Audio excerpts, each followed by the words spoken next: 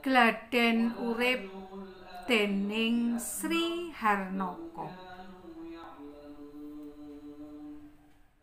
Biyen nalika aku cilik durung bisa maca apa maneh ngrunce ukara.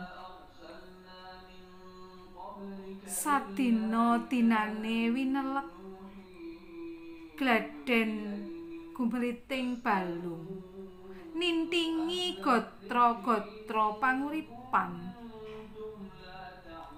Wiwit biar padang.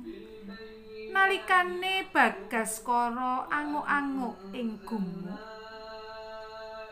Nganti gumlewang mangulon angslep gegandengan arga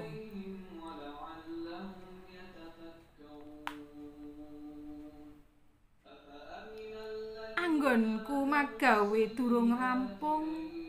Gumanti ngronce kidung pamulangan. Ndungkap lingsir wengi. Raga leren mengkurep. Linambaran ron-ronan janur. Ewa semono. Puguh nglipus angler nganti ngimpi jogete lintang ngelipur anggo akingku. Tangi gragap kaget ginuga binarung gunem gumontang gumuntang tangan nuding-nuding ngener pagawean ngiwi-iwi. Cengkelak tumandang gawe tangis ati cinandhet ing bekti. Mring sudarma. Hmm.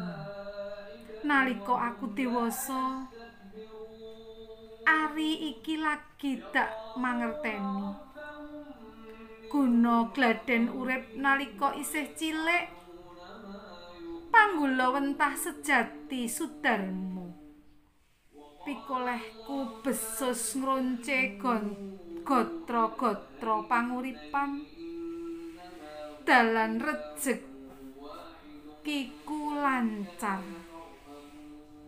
Akarana mobah mosi ing pikiran kang tan kendhat ing panggagas anyar